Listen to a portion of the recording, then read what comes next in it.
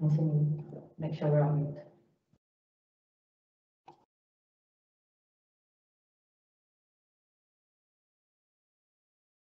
Good evening, everyone. I'm Sneha Bedi, elected patient governor and lead governor. And on behalf of all the governors, I would like to warmly welcome you all to the Trust annual member meeting. Today, we've got wide uh, range of stakeholders joining us. Our leadership team, our non-exec team, and most importantly, our local membership and other key stakeholders. Due to the current restrictions in place, we will be having this event virtually, same as last year. And I would like to point out a few housekeeping areas.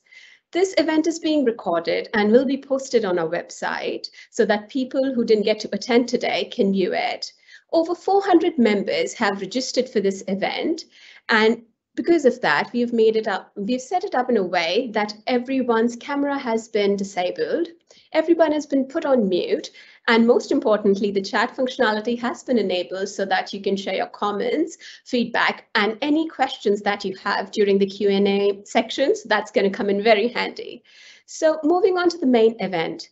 My role today is to present the key highlights and activities that the Council of Governors have undertaken on your behalf. A Council of Governors represents you, patient, public, and staff. So annual members meeting is very important for us so that we can report back to you. In today's uh, meeting, we will be covering a quick overview on what the Council of Governors have been involved with.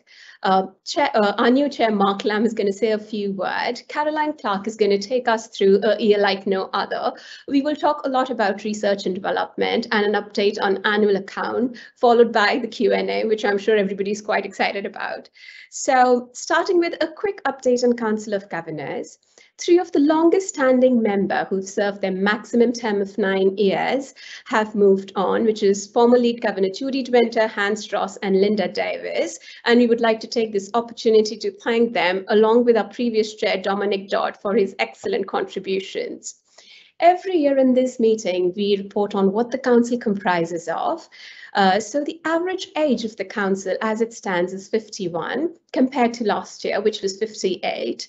The male representation is 40% and the female represents the 46% of the council.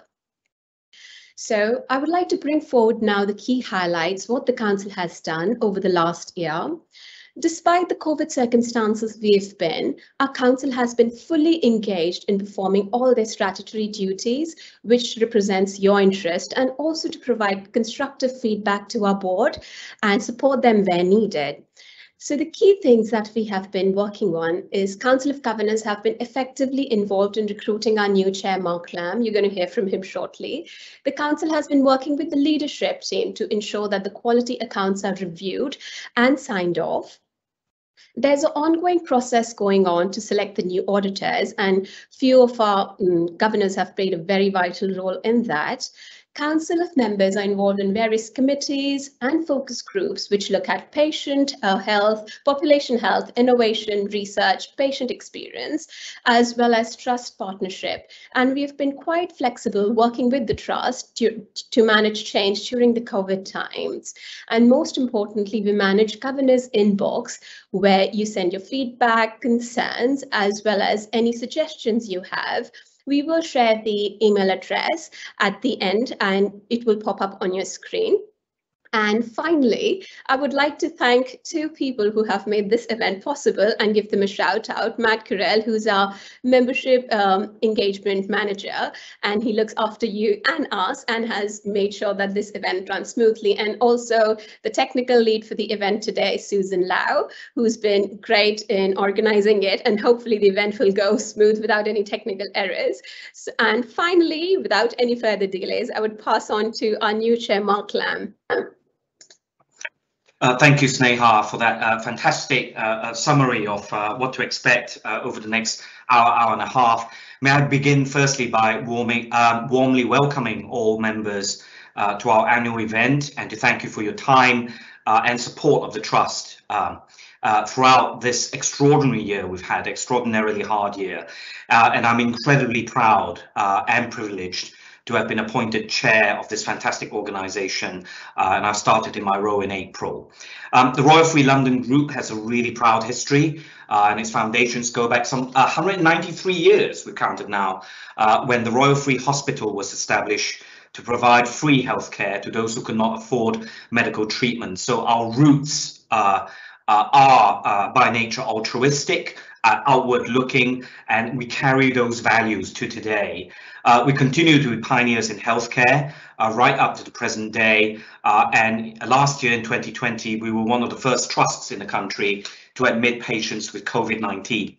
Uh, I'm sure you will agree that uh, the response of all our colleagues and staff, and indeed the whole of the NHS, uh, during the past 18 months has been absolutely incredible and phenomenal. Uh, and uh, on behalf of the board, uh, we're really grateful for everything our teams have done for our communities during the biggest healthcare crisis of within living memory uh, and certainly uh, within our working lives uh, within the NHS. So I would like to take this opportunity on behalf of the Trust to thank all our staff for their outstanding efforts. and in that context as well, uh, to uh, indicate, of course, uh, the, the, that we shall never forget um, uh, the very sad uh, loss of lives that we have seen over the last year and that we do continue to see, and the loss that so many families have experienced. I would also like to thank the Royal Free Charity for everything that they continue to do to raise funds uh, and also to raise awareness about, about the good work of the Trust and to all of you as members who have supported them uh, in this process. Uh, the charity has been with us all the way uh, on this journey, particularly last year, uh, and continue to provide the Trust with invaluable support. Uh, they've launched a new appeal called Breaking Point, which you will hear more about later, and indeed how you could help support as a member. Looking to the future, uh, there's lots of really exciting work ha happening across the Trust. A construction of a new Maggie Centre, which will begin in the coming weeks to provide support for people with cancer uh, and to their families and friends. Research and development is a key part of our work. A record number of patients and staff were recruited to clinical trials in 2020. You'll hear more about this work shortly. The Pears building, which we're really proud of, the new home to UCL's Institute of Immun Immunity and Transplantation is now open. Uh, and it will take our understanding of conditions like cancer and diabetes, indeed of coronaviruses, uh, to, to a new level. Uh, we also recognize that some of our patients uh, have been waiting longer than we would have liked to have been treated. Uh, we do want to reassure everybody that they have not been forgotten. It's the number one focus uh, for the board and the trust, and we're working incredibly hard to ensure our patient, patients get the care that they need according to clinical priority. Uh, and of course, the pandemic has highlighted to all of us that healthcare cannot be delivered in isolation. Uh, we're best working together and we need to collaborate with many of our partners across the health and social care system to ensure that we deliver the, the best care to all our communities. Uh, that is precisely the aim of the Royal Free London Group. It's why we were set up as a group uh, with three major hospitals, and we want to ensure that we bring the very best of the NHS uh, to, to everybody. Um, and in that regard, we will continue to work really closely uh, with our associate partners, in particular, West Hertfordshire Hospitals Trust and North Middlesex University Hospital Trust, uh, in clinical partnerships to share best practices and improve uh, the way that we deliver services. Over time, we passionately believe that this collaboration with other organizations will continue to develop, either through growth within the Royal Free Group itself or via our work um, as part of the NHS focus on integrated care systems. You'll be hearing much more about all this work and other work uh, over the coming months, uh, and we look forward to your continued support in the year ahead. Thank you. And with that, uh, I'm going to hand this over to Caroline Clarke, the Group Chief Executive, for her reflections. Caroline. Great. Thank you, Mark. Um, well, first of all, Mark, welcome. Welcome to the Royal Free. This is your first annual members meeting, um, and we're delighted to have you. I'm very pleased that you joined us. Um, I'm going to take this moment to reflect on um, what's what's. Uh, I'm not quite sure if my camera's on. Actually, can you see me? Yes. Right, sorry, technical hitch number one, everyone. Right, so um, I'm just going to reflect a little bit on uh, the last year, which really was a year like no other. And as Mark has said, that is an experience that uh, hopefully uh, the next generation won't have to go through. Um, and I'm going to take stock of how we did and also then to think forward about what that means for us over the coming period. But before I do that, um, like uh, people before me, I just want to say a few thank yous. Um, and um, as I'm speaking, uh, the team will put on the screen some patient compliments so you can see what some of our patients um, have said as well, which uh, means a lot to our staff. Um, as I said, it was an extraordinary year like no other, defined by a global pandemic, but there were some other things that happened as well. Um, our response across our group of hospitals was truly exceptional. Um, and of course, I want to pay tribute to every single member of our staff who went above and beyond, who defined what happened by their resilience, their courage, uh, their commitment, um, and their just extraordinary actions, often at great personal cost. So a first massive thank you to every single member of our staff. I also want to thank the leadership of the organisation. The leaders don't always get thanked. I want to thank uh, the clinical and operational leadership for leading the storm at the front line, again at immense personal cost. I want to thank my executive colleagues at the group and at the sites for your wise counsel, um, your, your, um, your advice and for helping us steer the ship. And I want to thank my non-executive colleagues on the board, past and present, for the tone and direction that you gave us through 2021. That really helped us actually just get on with the job. So thank you. And then I want to say thank you to the communities that we serve, including our membership and our governors. Thank you so much for all the support, the advice, the encouragement, and sometimes the finance that you gave us over the last uh, year. That has really that has really helped us. And of course, a thank you to our charity. I'll say more about that in a minute, um, who've been by our side throughout, helping support us and rebuild our services. Um, so first of all, then, a brief stock take of last year from that first frightening wave when we were experiencing a new disease and a new lockdown and huge uncertainty, then a summer of uncertain recovery, followed by a very, very tough winter. And then finally, I guess a more hopeful um, spring 2021. Do you remember what you were doing on April the 1st last year? Let me just remind you. England had been in lockdown for just one week we had over 400 patients with COVID in our beds in Barnet and the Royal Free. Our intensive cares were at double their capacity then, and we'd enacted all our pandemic plans and had redeployed hundreds and hundreds of staff from their normal jobs to support that effort. Two days later, just as the London Nightingale Hospital opened, we went into what we call super surge mode. Very quickly, we had 800 patients in our beds. Our intensive care units were at three times their capacity, and we suddenly understood what exponential really meant we actually saw in that first wave, our first peak was around Easter weekend last year.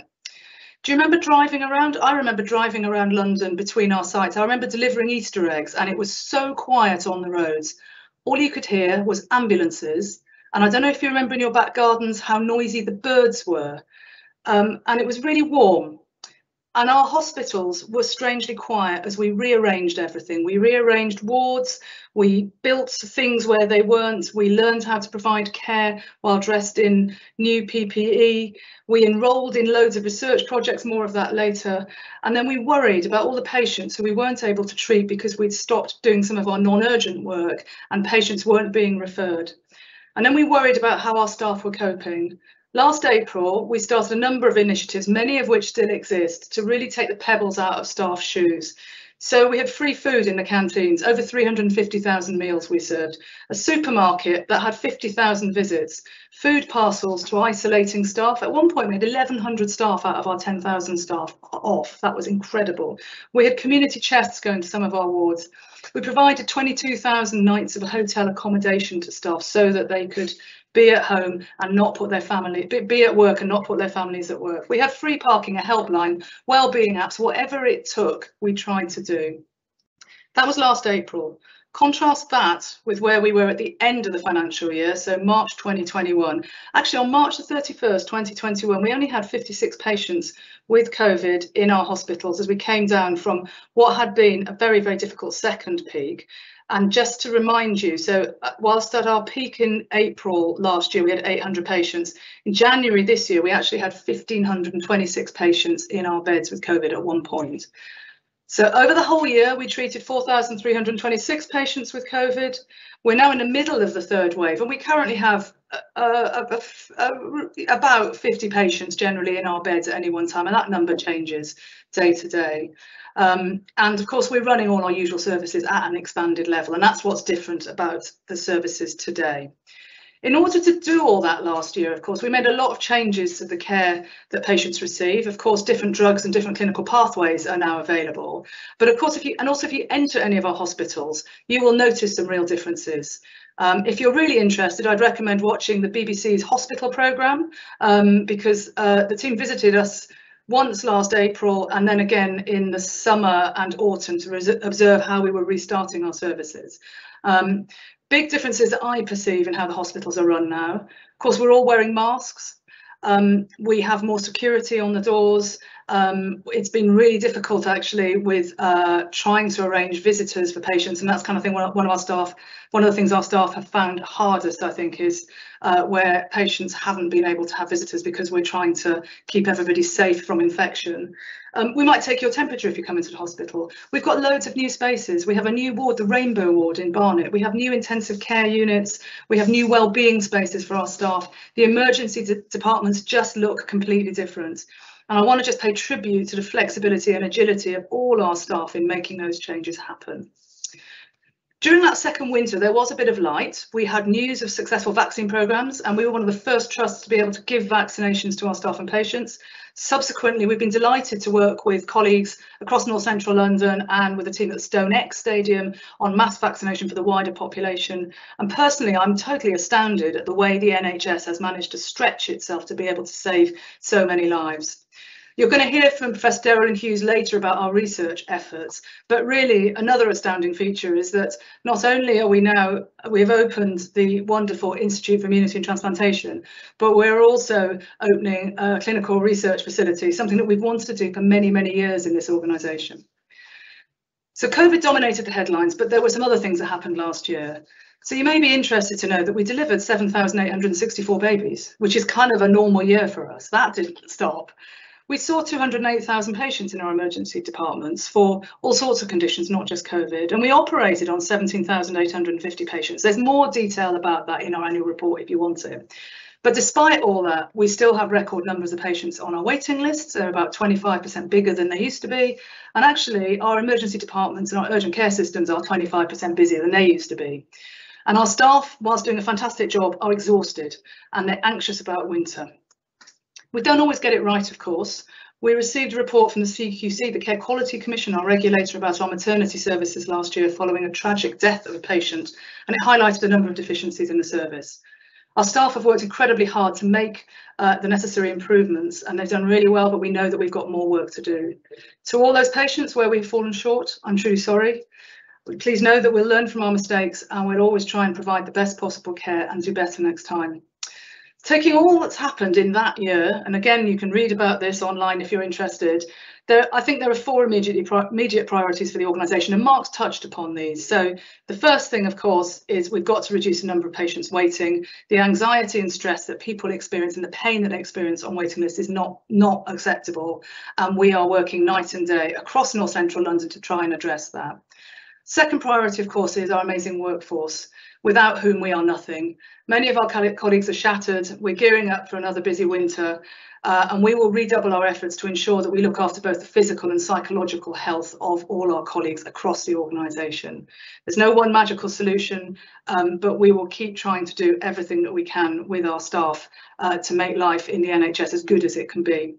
Our third priority is to ensure that we take full advantage of the technology available to us uh, to help patients get better access to services and to make our working lives easier. We're going to see more technological change in the next 10 years than we have over the last century, I think, in biotech, in new medicines and devices, in data processing and storage and connectivity. And we've got to ensure that the Royal Free is at the forefront of all that. And we've got to do it in a way that allows us to reduce inequalities in the population rather than exacerbate them. So that's super important. Um, and next month, of course, many of my colleagues are working on an upgrade to our major clinical system that will take place across the group um, and massively improve our, our ability to help patients and provide better care. Finally, we can't do any of this on our own. As Mark said, we work in many partnerships. It's critical to how we worked in COVID. We learned a lot about how to work in an integrated manner through COVID, and we've got to do more of that. We've got increasingly close partnerships, as Mark said, with West Herts and with the North Middlesex, um, and latterly with the RNOH, and they are allowing us to test new ways of working really quickly. We also have a fantastic partner in the Royal Free Charity, and I'm proud to be a trustee of that charity. I know that the NHS has received some more money recently, but I've got to level with you to say that a panic, a pandemic is very, very expensive. The underlying position of the Royal Free has not gone away. We still have costs that are much higher than the money that we get in. And I think that the work that we're going to do with the charity and them launching their um, their breaking point fundraising campaign is absolutely mission critical. I am an optimist, although it feels tough right now. I do think that there are things that we've learned that will make us stronger. And in finishing, I'd just like to say that as we enter another tough winter, I'd like to think that William Marsden will be proud of the of the, hospital, the way that the hospital that he founded just before the cholera epidemic in the 1830s has risen to, risen to the modern COVID challenge and also is rising to the philanthropic challenge. So thank you very much for listening to me. Very happy to take questions. And now I think I'm going to hand over to Derralynn, Professor Hughes. Thank you, Caroline. So I'm uh, Hughes. I'm a haematologist, that's a blood doctor. I treat people with uh, blood conditions and rare genetic disorders. And I'm also the clinical director of research and development at the Royal Free. And I'm very pleased to have been asked tonight to explain to you some of the activities uh, that have been ongoing over the last year in research uh, at the Royal Free and with our colleagues in UCL uh, and other areas. Uh, see if I can get the next slide. So what is clinical research and why is it so important? So clinical research is how we develop new treatments and get better knowledge so that we can understand conditions and develop new interventions for healthcare. And this is really important because not only does it deliver new treatments for patients, but we know that it's also associated with better patient outcomes. And in hospitals that are active in research, even patients who are not themselves involved in trials tend to benefit from having research ongoing around them. There was a case that's been published which shows us that in a hospital which had ongoing active research into people with bowel cancer, the other people with bowel cancer who weren't involved in the trials also did better. So we believe that research is really beneficial to everybody in the hospital and in our health system. And it's now valued in terms also of the CQC well-led framework. Next slide. There's lots of other reasons why clinical research is also really important. So it builds teams and it builds a sense of contribution and well-being to clinicians and to patients. It enables patients to have close monitoring and support. It gives earlier access to new treatments. I look after a group of patients with very rare disorders and in order to bring them treatments, it means bringing together patients from all over the world to participate in research, but has brought them treatments much earlier than they would have done if we'd not been able to have that participation. It brings knowledge generation and it brings wealth generation to the economy and the healthcare economy in particular. Next slide. So I think it's really important as clinicians at the Royal Free that patients are at the beginning and the middle and the end of all our research. Our research starts with understanding the needs of our patient populations. And I've given an example here of kidney disease. Dr. Shabbir Moochhala is one of our renal physicians, and he's conducted careful clinical observations and audits of patients with kidney stones. He's found that many patients have recurrences of stones and many of them also have bone disease. And he's used those observations to design clinical trials and to enlist in clinical trials which will benefit our patients. Our patients are our local population around Chase Farm, around Barnet and around the Royal Free Hospitals. but also our specialist and rare disorder population and patients travel from all over the country and some internationally to come to some of our specialist units that are all free. Next slide. Laboratory research allows us to understand the causes of disease.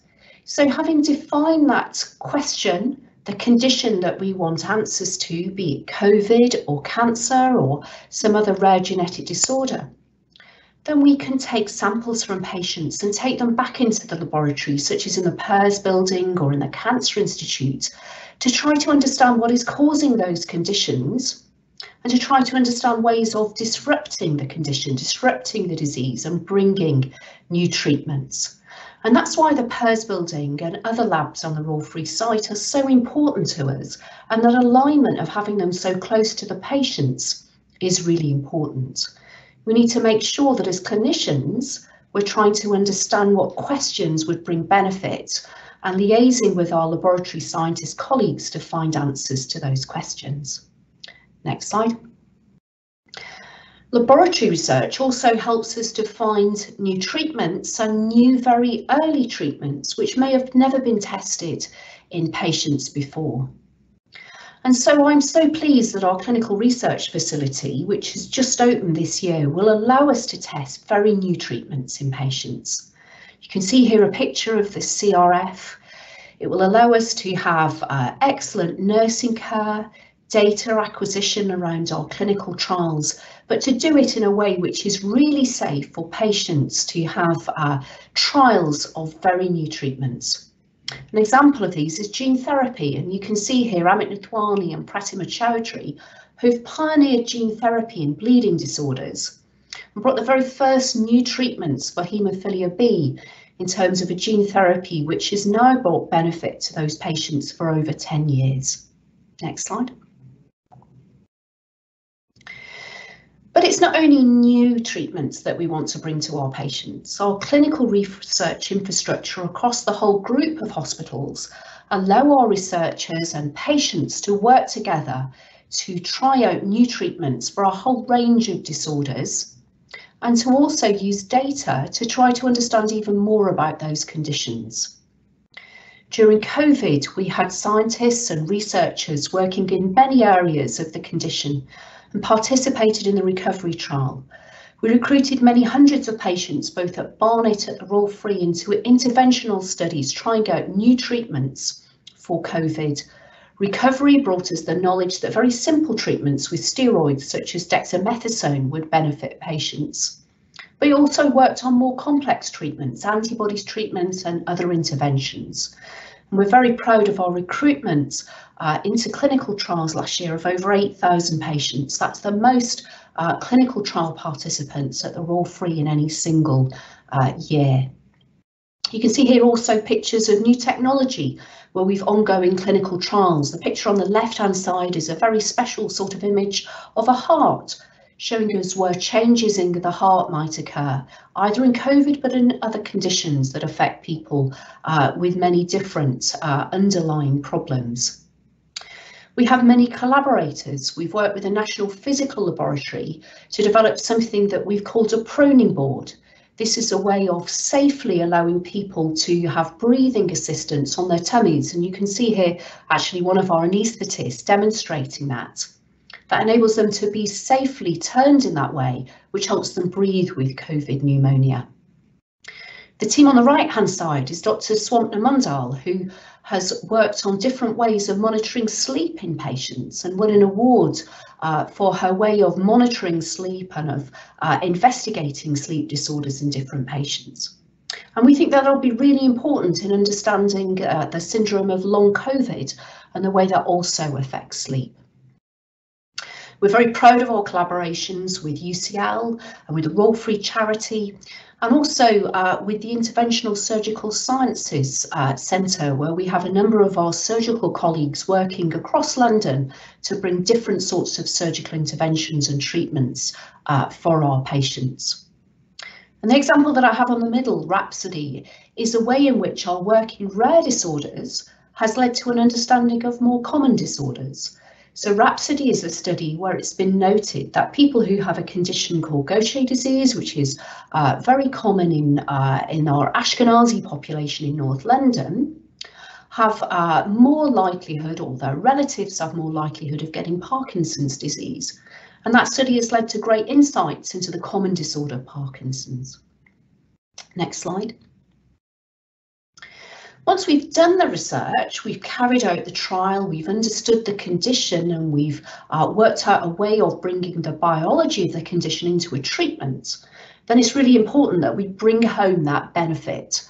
And this is an example from Professor William Rosenberg using some new treatments for non-alcoholic fatty liver disease and hepatitis C, which have reduced unnecessary referrals to hospital by about 80%, have brought savings to Camden of over £200,000 and brought to us at the Royal Free the largest treatment centre for hepatitis C, curing over 3,000 people from that condition and thereby reducing deaths from liver failure. Next slide. So in the future, we look to increasing collaboration and translational research with the interface between the Pears building and laboratory science and our clinical teams, more new early phase studies in the clinical research facility, and also these important emerging areas of research of genomics, trying to understand the genetic causes of disease, gene therapy and other advanced therapeutics, where we're going to be trying to uh, effectively cure genetic disorders by introducing new genes. Tissue regeneration, trying to uh, grow new tissues and organs for those people who have failing tissues and using our data to generate the best possible hypotheses and outcomes from our data. Next slide. So finally, I'd just like to invite you to help us to develop our vision for the future of research and development at the Royal Free. We're just about to embark on a project to look at our research strategy over the next five years using a combination of town hall events, meetings like this, focus groups, workshops and surveys. And I would love it if we could have your input and support in developing that strategy. And for anyone who wants to be involved, we can share with you the links and the invitations to those meetings. So thank you all for your uh, attention. I'm really pleased to take any questions, which I think we'll do at the end. And I'm now going to hand over to Peter Ridley, who's our Chief Finance and Compliance Officer uh, for his presentation. Thank you.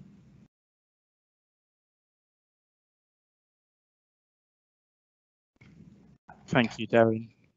Um, and I'm not sure how to advance my slides, so Matt, could you do that for me? Um, so hi, I'm Peter Ridley, I'm the, I'm the Group Chief Finance and Compliance Officer. Um, I'm going to take you through a quick presentation on our on our year-end financial results as at the 31st of March, but could I have the next slide, please? So, so I guess importantly to start, um, and, and some of you indeed have just been in, in a governor's meeting where we've been talking about um, our auditors, um, our external auditors who were PwC um, for the year just completed, um, carried out their usual work. Um, it's important to, to report here that we got a clean opinion from them, so they were satisfied the accounts gave a true and fair view of our position.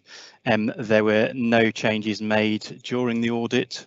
Um, there was there was one uncorrected misstatement, which was well below um, the materiality level to, to need to make the change. Um, and we were found to have exercised our functions economically, efficiently and effectively. Um, as you'll probably appreciate, it was it was an, an extremely difficult year to audit given the, the changes in our finances, which I'm about to take you through. Um, so thanks should go to our auditors for, for helping us through that process. Um, next slide, if I could. Um, so at a very high level, and I'll take you through some of these numbers, where we got to last financial year, um, we recorded a, a, relatively small deficit of 2.7 million for the year. Um, that was in line with forecast and our, and our position as approved by the regulator. Um, the small miss was due to something called an annual leave accrual, which I'll come to. Um, we spent 72 million pounds on capital. I'll give you a little bit of a breakdown on that, um, and I'll take you through the savings, which which are significantly lower than you'd expect in a normal year, as I think you'd probably appreciate. Um, the key probably here is the the financial regime, how we were paid had a very was significantly different during the year and the whole NHS in England system changed to make sure that that cash flowed to organisations to help them deal with the pandemic to make sure teams weren't tied up um, significantly in in lots of contractual discussions as to a commissioner and a provider split and, and in fact the the whole conversation was how can the national team help how can we make sure as long as your costs seem reasonable we get the cash to the front line so that you don't have to worry about the money. You can concentrate dealing with what's in front of us. Uh, and we met all our expectations there. Um, but if I can go to the next, the next slide. Um, so this is our, our top level position. And um, as you'll see, if you compare the two columns, the right hand column of which is the previous year, and then we've got, got the column for 2021, the numbers look quite different. So some really big increases in numbers there. Um, our income um, went up significantly. When you see both those those numbers, the 1099 number and the 214 number below it, and um, the the main reason for those increasing was the additional financial support we got for for going through COVID. So we got um, 77 million pounds of system top-ups of one sort or another, which included um, nine million pounds to to help us um, get activity from from um, other sectors, so treating patients in independent sector hospitals and other places. Um, we got um, significant amounts of money to, to deal with um, COVID expenditure, which I'll come to, so additional cleaning, security, additional staff and the like.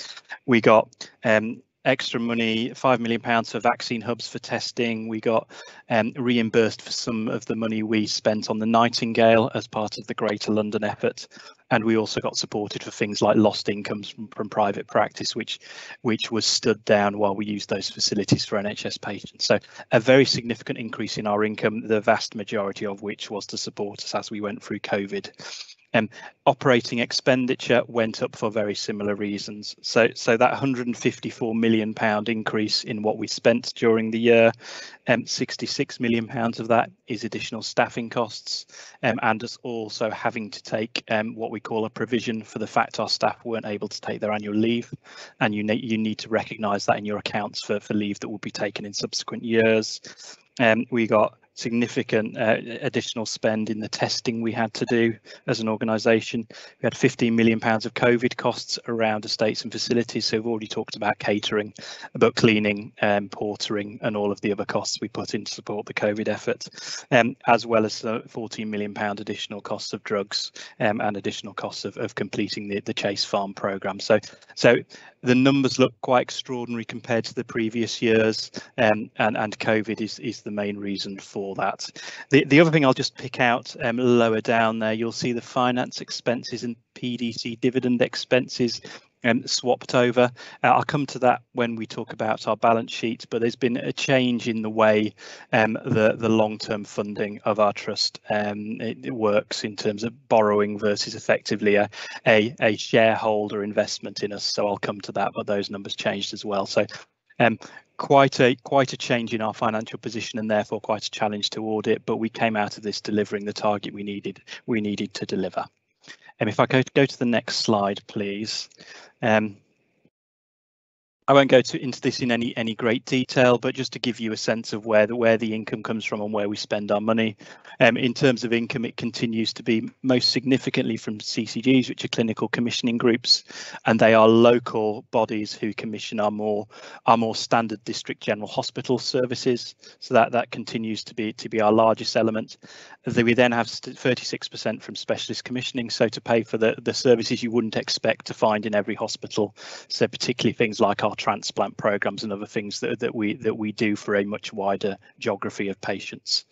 Um, on the expenditure side, um, staff costs just about still make up our, our, our majority of our expenditure.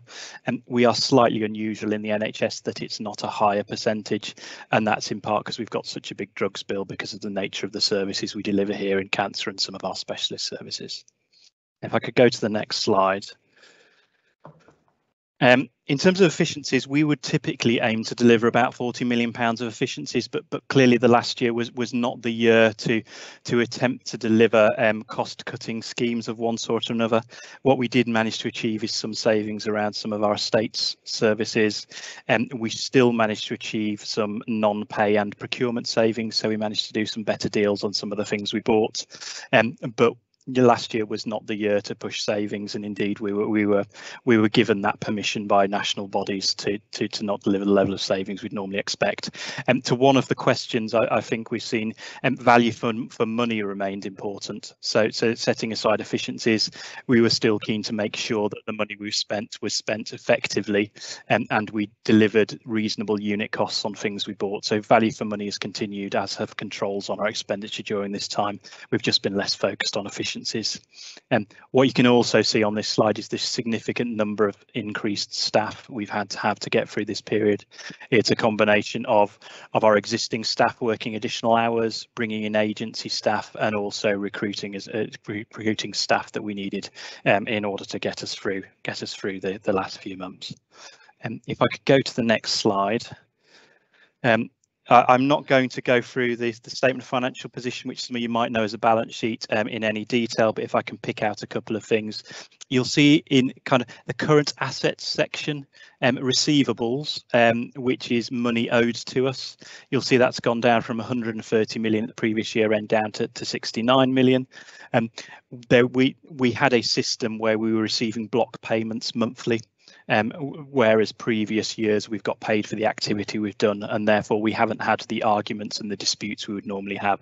That significantly reduces the amount people owe us and that drops immediately into the line below that, which means our cash balance was significantly healthier because we didn't have lots of unpaid invoices from people. So that was a re real positive piece. Um, the other piece I'll pick out is in current liabilities. Our borrowings you'll see have gone down very significantly. Um, there was a change in the NHS during the year whereby trusts who've been running deficits for some time, which we of which we are one, we received cash support from the Department of Health to support that deficit position, which was which was given to us as, as borrowing, so it was given to us as debt.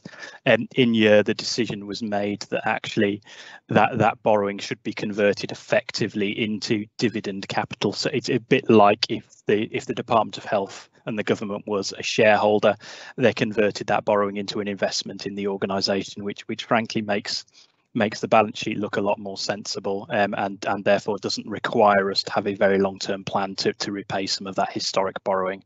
Um, so that's very useful. If I then move on to my final slide, um, which is just to give you a sense of what we spent our money on, we spent 72 million pounds on capital.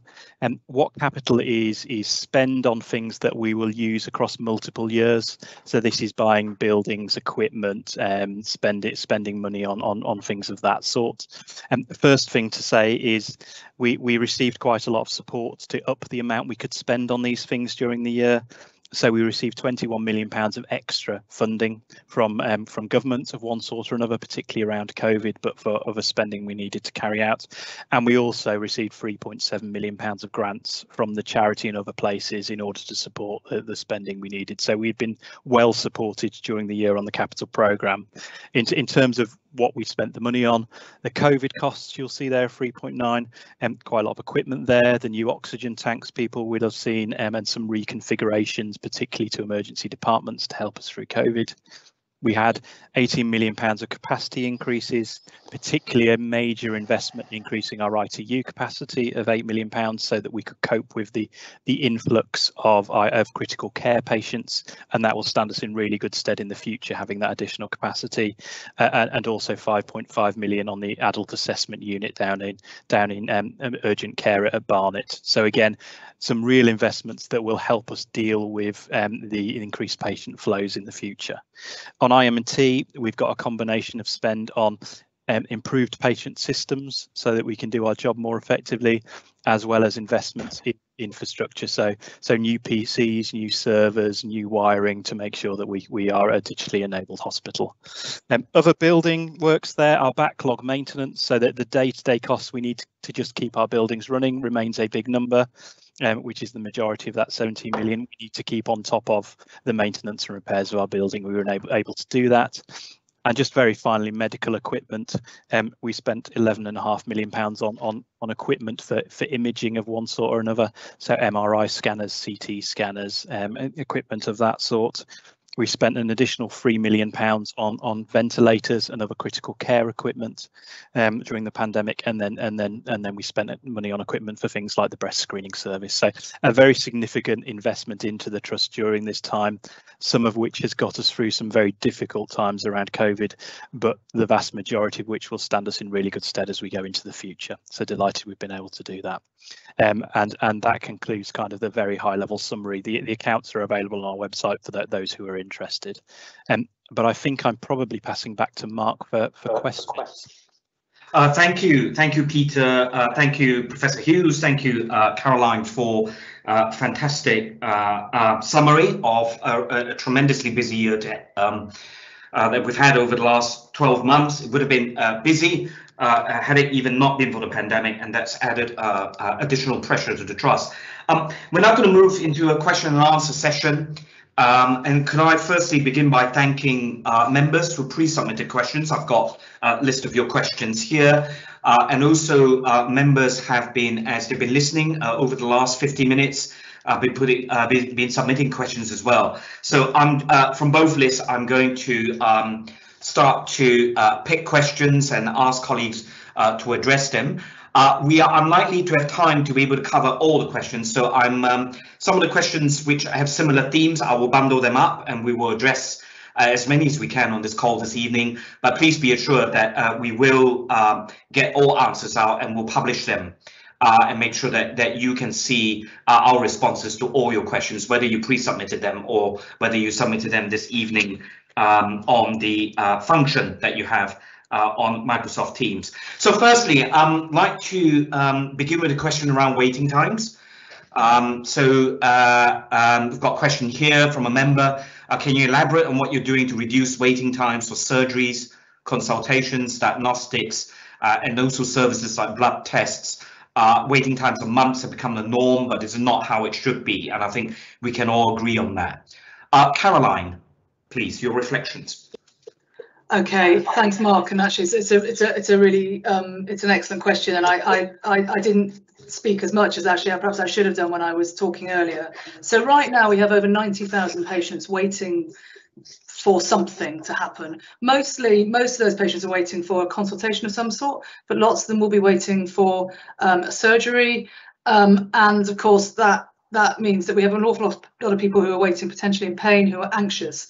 So um, there are a number of things that we're doing and uh, this conversation will be replicated in every single hospital around North London and in fact around the UK. Um, we normally have a lot of people on our waiting list. let me just start by saying normally, even before the pandemic, we would have had about 70, 75,000 patients potentially on our waiting list. So uh, the size of our hospital and the populations that we serve mean that lots of people get referred here um, and, and unfortunately they have to wait.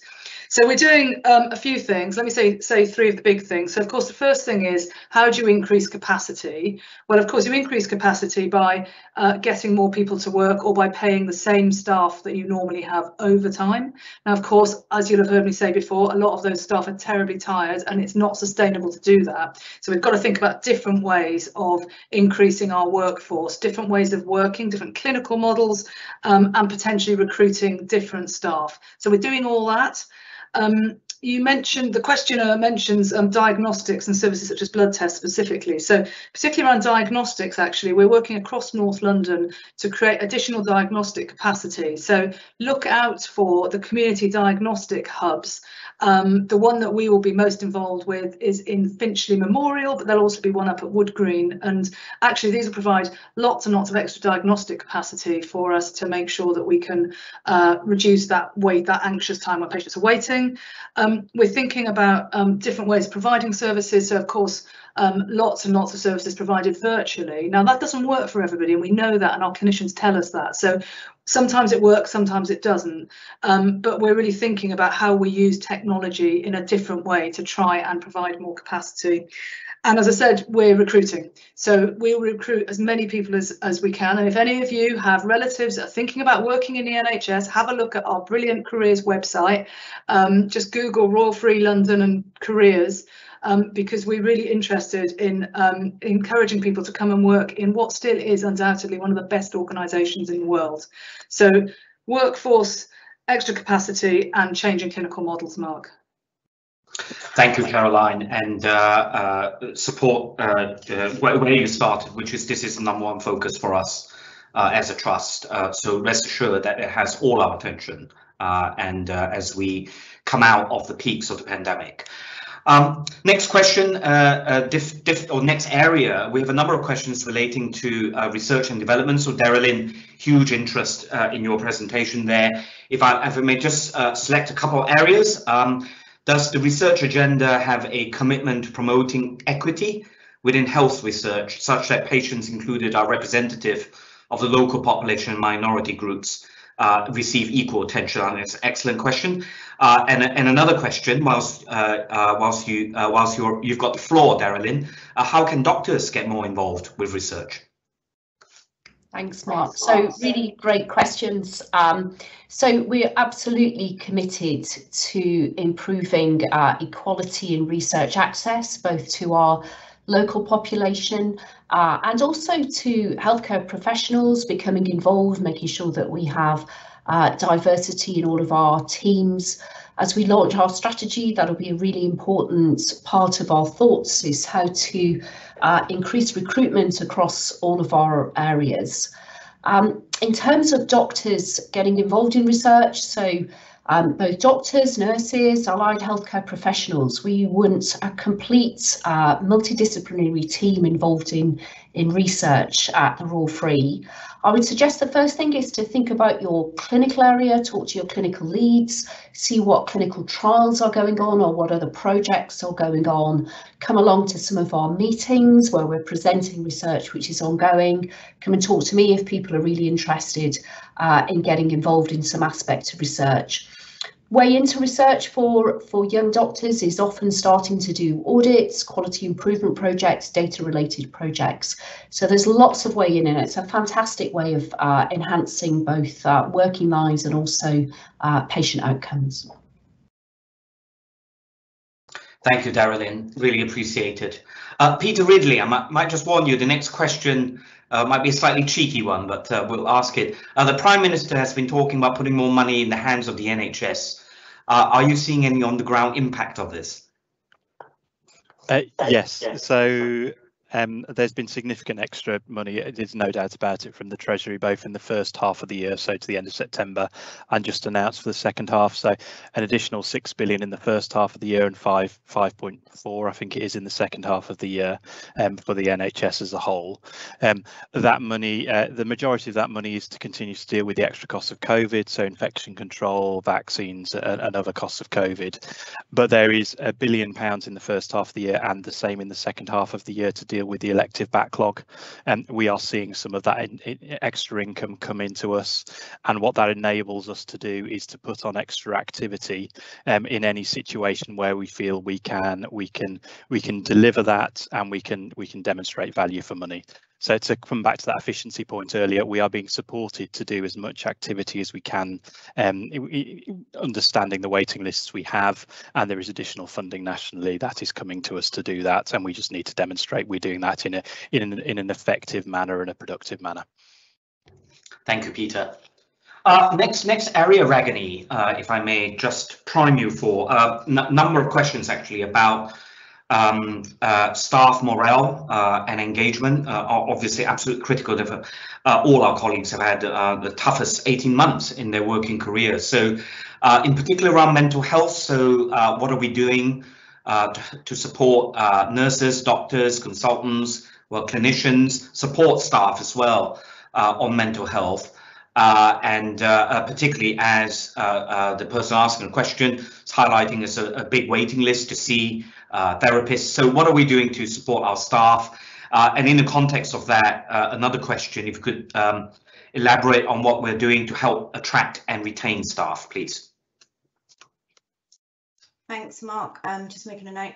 Okay, so to start with what we're doing around supporting our staff with regards to mental health, um, during the whole COVID um, period, we stood up a health and wellbeing offer for all our staff, which included support um, support for mental health, um, and that is still running and it's ongoing.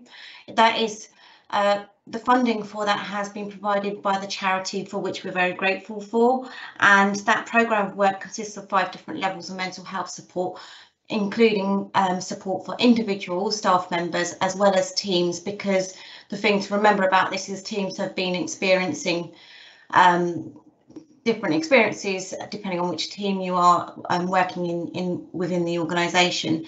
In addition to that, we also have our counselling services and our occupational health team available to support. So we have recruited additional uh, re resource through the funding that has been provided to be able to provide this support.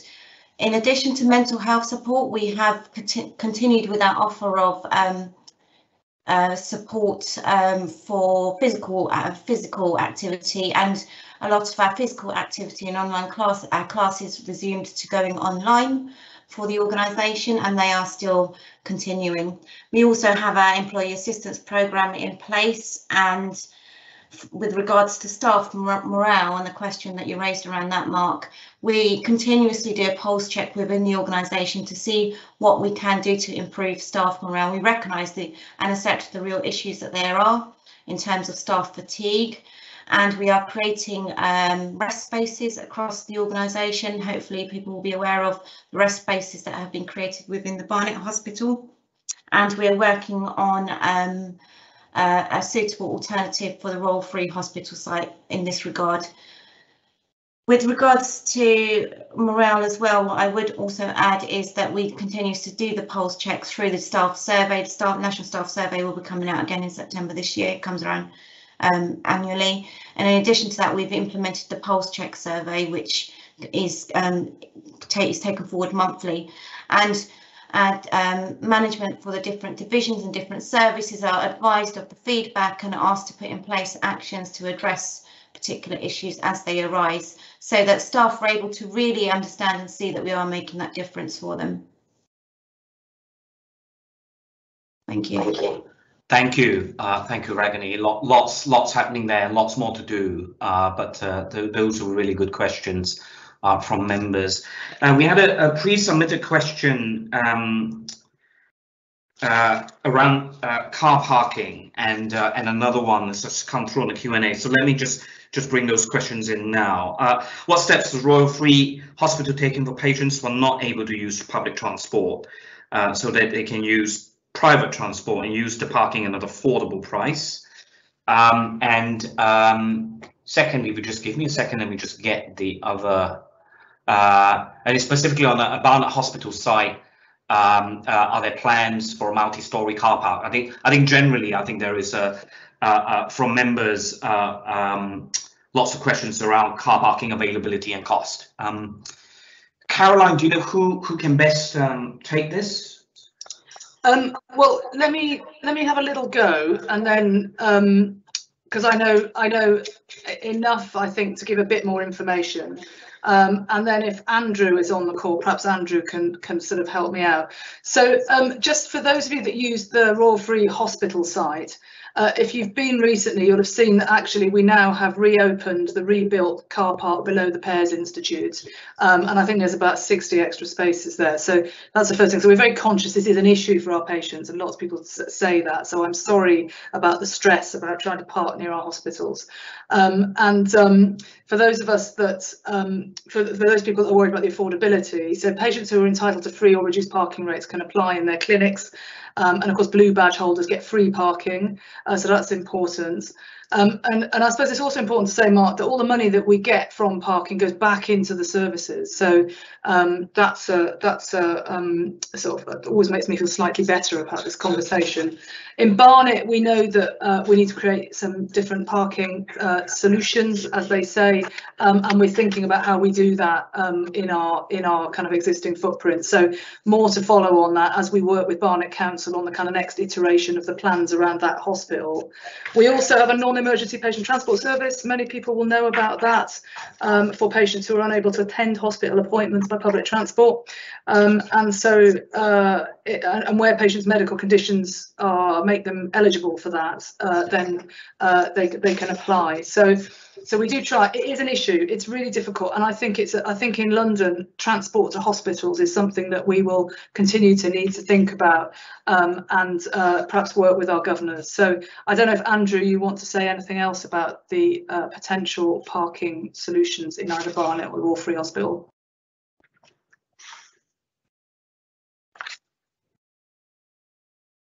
I don't think we've got Andrew with us, Caroline. Oh, poor Andrew. Okay, all right. Well, hopefully that was helpful. And if people want more, then we can respond separately. Mark, back Uh, to you. uh, Against all these questions, we'll get res- written responses out, so we'll uh, we'll make sure Andrew adds to that, uh, particularly around the car parking questions. Um, wh- wh- whilst you've got the talking stick, Caroline, um, uh, and we're talking about Barnet Hospital, it's a recognition that its A&E is significantly under pressure, and uh, we all know that. So, are there plans? This is a pre-submitted question to reopen the A&E unit at Chase Farm. Okay, so so thank you. Um, of course, all our e- emergency sites uh, are under pressure, um, and um, uh, that is an absolute uh, consequence of the pandemic and the kind of here and now. I don't think that is necessarily what we will see in years to come. By the way, I think you know this this is. Uh, you know the the um, the um, how patients use a health service will continue to change. There are no plans to reopen Chase Farm as an emergency department. Um, the um, the uh, the the the the changes that we made several years ago are, are now how we choose to run our, our urgent care systems in the north of the patch. Um, and um, actually, Chase Farm Urgent Care Centre is really, really good. Um, and we continue to get really good um, reports from patients who use it.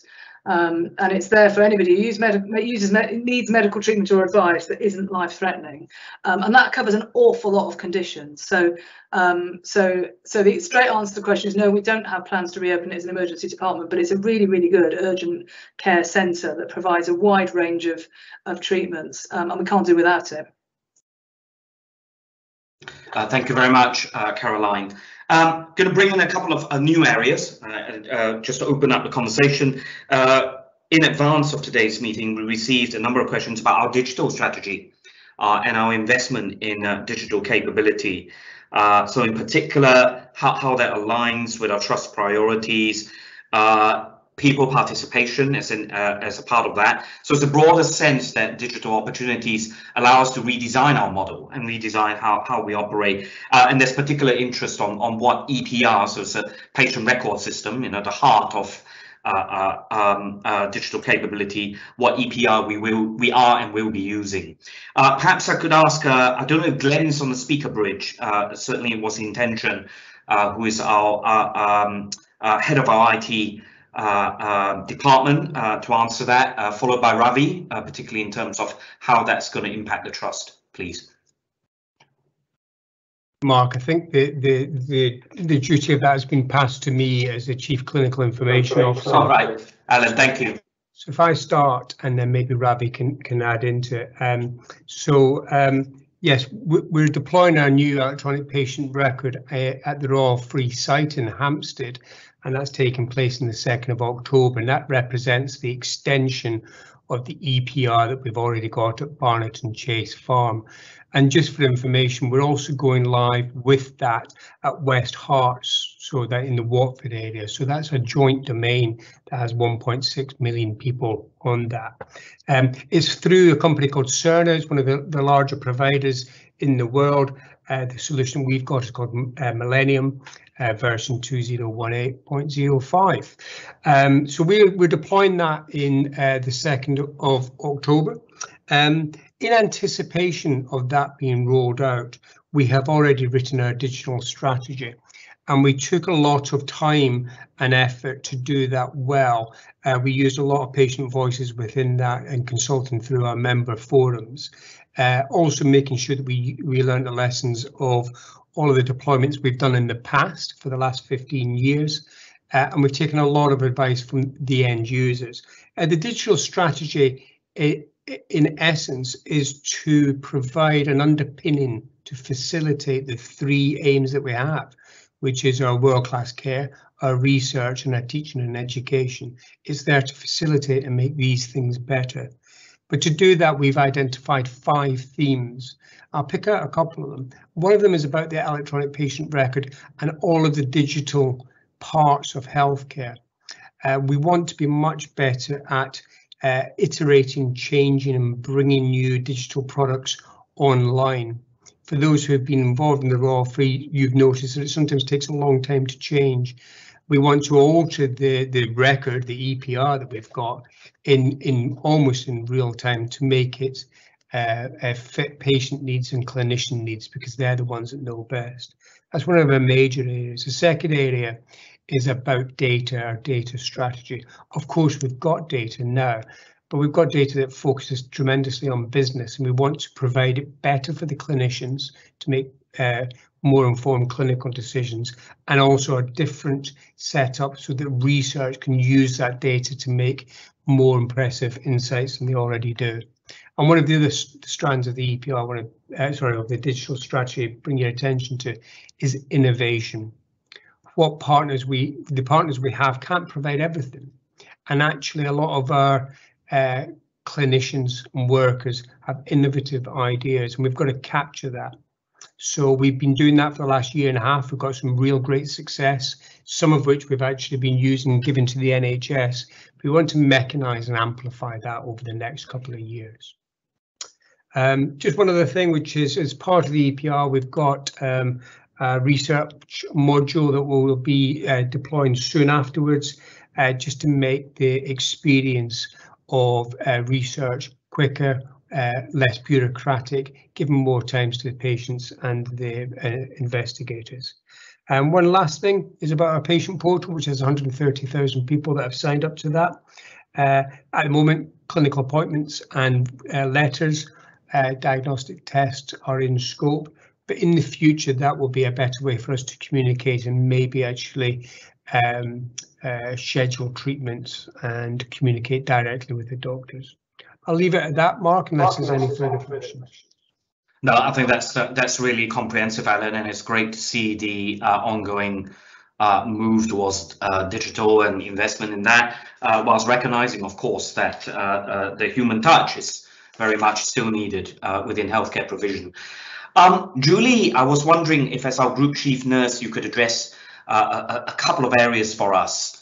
Um, and uh, I, I, don't know how um, easy it is to answer some of these, so, so it might be we, will get back offline uh, and, and, publish our answers. But uh, is the Royal Free planning on rolling out any preventative tests uh, or research so that one can minimize critical care medical emergency triages? So it's really about prevention and upstream. So I thought it was important to, to bring this out and requires a lot of system working.